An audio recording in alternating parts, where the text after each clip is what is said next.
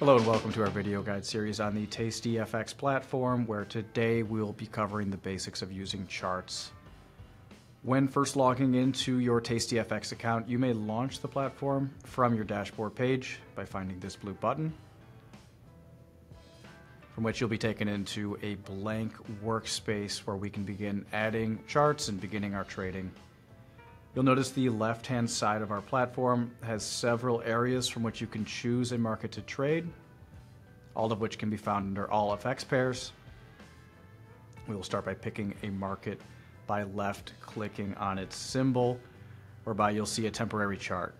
Now, for future use, you may add these by clicking Add to Workspace in the upper right-hand corner, where you'll see a small window that you can customize to fit your screen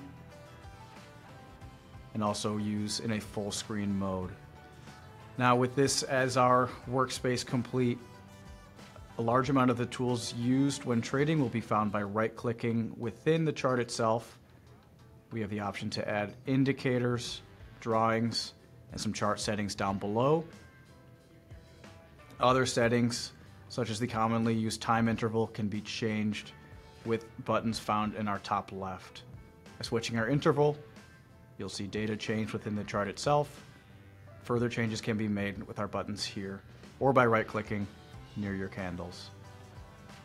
For those that prefer to use a view of multiple charts, we'll take ourselves off full screen, move Euro USD to the side, and add a new market from our left-hand rail, as we've done before, by saving it to our workspace.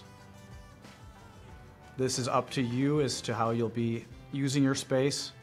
You may have two charts appearing at once, or as individual tabs on a full screen mode. This will be our first guide covering the platform. More to come, and happy trading.